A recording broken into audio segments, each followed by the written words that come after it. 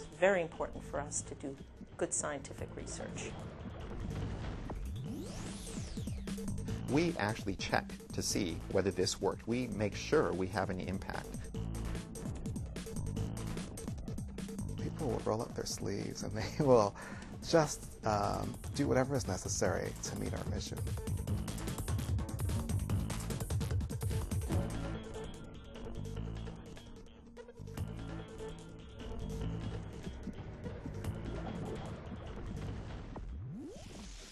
When I think of the history of HopeLab, I think most profoundly of the story of the PAMs, our board chair and founder, Pam Omidyar, and our founding president, Pamela Cato. Really, the, the vision and the compassion and the intellect these two women brought to bear in this effort is phenomenal. I said, wouldn't it be great if you could um, have a video game where kids with cancer could just blast the cancer cells? When we realized that we could fund this game fully ourselves and not worry about making a profit and really just do it for the kids, uh, that's when HopeLab started to come together. The game is a uh, 3D shooter that takes place inside the human body. Uh, you take on the role of the microscopic yet intrepid nanobot named Roxy. You are armed with a chemoblaster and uh, rockets with medicine and your mission is to fight cancer and cancer related illnesses like infections on a cellular level. Well, one of the ways I describe this game is it's a cross between Tomb Raider and Fantastic Voyage, kind of a, a lone wolf uh, out to fight a tremendous enemy, but inside the human body. One of the challenges that we faced in developing this game was really trying to mesh the research that we were putting into the game up front, along with the game developers, and saying, hey, you guys have to communicate. We need all the scientific information to go into the game. We'll help you translate it to put it in the game. The game developers are saying, hey, we want a fun, cool game. What is this stuff? It has a great potential to, to impact uh, adolescents in particular who uh, seem to have a lot of their interests focused on consumer electronics and on video games it was exciting. You know, we do all these video games, and the work is fun, but sometimes it's kind of pointless. I mean, there's no higher thing. It's just like immediate sort of entertainment, and then it's forgettable. But this one felt uh, this one felt a little deeper. To watch sort of these two tribes come together.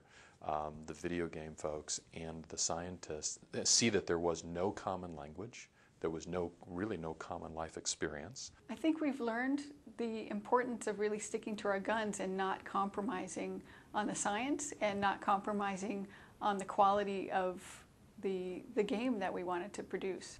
It's actually a source how you can learn how what chemo is and what cancer cells are and you learn about chemo and radiation and how it's important to take your antibiotics. It's a great source how to learn.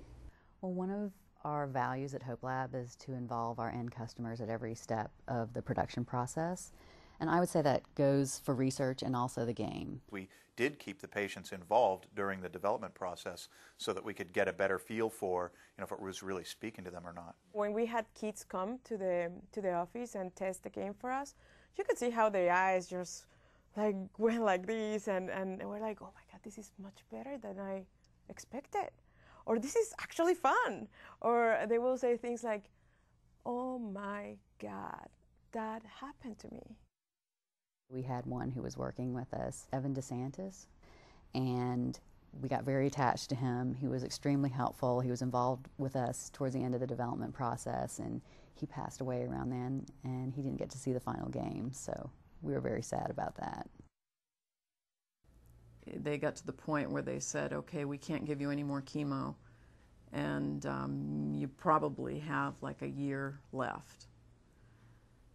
And then we had the question, what do you do? You know, you have a year left, and um, he had been fighting for two years. That was a big problem. What do you do when you only have a year left? And then we went into the clinic one day and found a HopeLab person saying we need uh, someone to test the computer games. We started to figure out how we were going to incorporate Evan into the project. He was really interested in games. He was just a funny guy, you know. He was uh, just uh, he was a great guy and, and, and the type of person that we would hire as an intern, you know, at our studio. He just thrived on it. HopeLab just gave him that feeling. They empowered him so much that he just came alive when he came here. Well, one of the scenes uh, going through that kind of where he had some input was just uh, on the seizures. The description of a seizure, he, he said the, the graphic uh, representation of what the seizure was like to, to someone. Um, he said they, they nailed it. But by the time he was done with them explaining what they, Yeah. they needed to do, that, that that is the feeling one gets when one is going through a, a seizure. His, his motto was uh, Carpe Diem, which is Latin for seize the day. And uh, he really lived that. To see him uh, actually do it and, and do it in a way that created something of value for other people, like the Re-Mission game, was um, was you know touching, inspiring, and um, um, really made us feel that he had left you know a, a little bit of legacy in the world. The study that we did really was uh, sort of an effort to see whether Re-Mission was going to impact the kinds of uh, thoughts and feelings and behaviors that we know are important for the well-being of, of kids with cancer. We were the first large scale trial of this type, and it was extremely rigorous. So, if it didn't work, we would know that for sure. Many times when you talk about this study, people are like, how, how is it possible that you enroll 375 people in a year? That's unheard of. I think it's possible to be scientific um, in the same way that we're scientific when we evaluate the effects of new therapeutic regimens or evaluate other t- sorts of cancer control interventions. I was very concerned that if the scientific studies were done correctly, that it might not give us the results we were hoping to see. Well, the study showed that if you play this game called Re-Mission, in the midst of your cancer treatments, your quality of life can actually improve. You can learn about cancer, you can get control of your illness, you can manage it better. I do have to say I was surprised that the, that the clinical data was, was so strong. The kids in this study were confronting one of the most threatening health scenarios imaginable.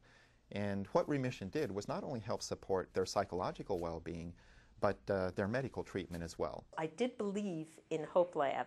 I just didn't think our hypothesis was going to be proved correct. And so I was the skeptical one, and I'm very happy I was proven wrong. That's what science is all about. I think we learned a tremendous amount, both in creating the game itself and actually also in testing the game. I think one of the things that we learned is that video games can be used for positive effect in young people. We had good health outcomes as a result of the rational engineering of this game.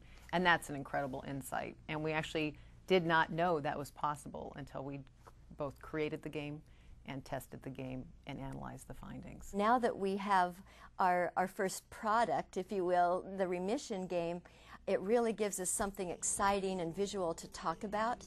The game has been received positively everywhere. Uh, people are enthusiastic about the fact that we have done this. Every time the game gets written about or we have a broadcast piece about it, um, um, we certainly get a whole influx of new interested people logging on to see um, where they can get the game. I mean, if I could create cures, then, you know, I would do that in a, in a heartbeat. But what we can do is when they're facing the challenge of, of a physical or, or mental illness, we can help them be stronger. We can help them and their families cope better with their disease and give them a sense of control over their disease. And I think we can work together with, uh, you know, other aspects of, of treatment um, to make them have happier lives. We um, set the mission early on broadly enough so that we could begin thinking about um, what would be the projects after Re-Mission. Some of the other diseases that we're looking at, in addition to cancer, obesity, sickle cell disease, autism, major depressive disorder, we will not achieve our mission if we don't have ways to really understand what's going on in the lives of these young people. This was our first sort of attempt at, at, at proving this, this hypothesis we had. And now we know so much more. And now we can put even, even a better standard of science to it and come up with even cooler interventions for, for young people with chronic illness. And so I'm very excited about, about that potential.